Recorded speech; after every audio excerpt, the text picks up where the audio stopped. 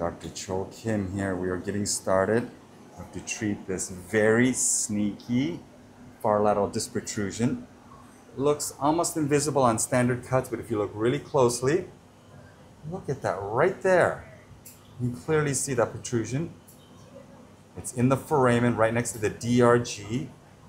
We've confirmed that's the pain generator through a targeted injection, and it continues to prevent her from living an active life because life is short. We don't have time to be in pain. She decided to proceed with surgery. And of course, in this case, we'll do the most minimal invasive surgery possible, the LESS procedure. It's basically knee arthroscopy, but in the spine. And eventually, I think everyone will do this surgery like this. Whoop, there it is. Sean, There's a really prominent annular tear in the front too, but the front doesn't matter because there's no nerves up there, shot. But it's a reflection of the health of the disc. Now you can really see the tear. Oh, that's a big tear.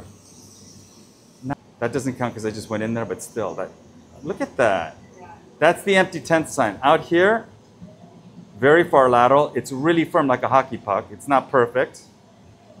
It's a little loose, so I think this is part of the problem. And then right here in the foramen, I just happen to have gone in there at the same time. It is so pathetic. The true empty tenth sign right there. And then look, this looks like it's about to, I don't know, squirt out like a hot pimple. And all these adhesions and blood vessels, another sign of chronic inflammation. Okay, this is where I went in, and look at it, it's like an empty cavity in here. I didn't even do anything, it's just empty. This should be dense crisscrossing collagen fibers. Here is the disc protrusion annular in all its glory. Look at that. That should all be totally white. And I bet you when I release this little band, something's gonna come flying out of here. Look at how it's delaminating the, the line up above. There's a middle normal section and then the deep kakapupu section. And there's probably something right there in that, behind that white wall. Oh my God, yeah, I can feel it. It's right here.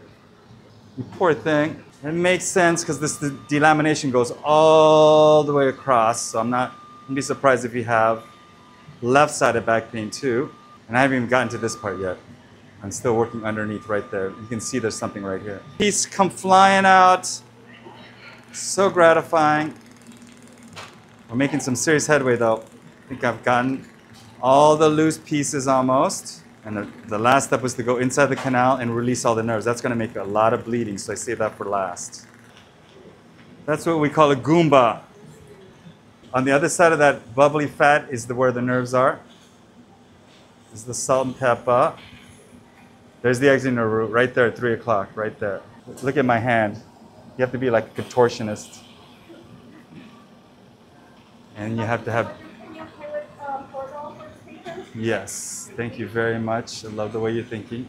Okay, all done. So there's the canal inside there. You can get in easily.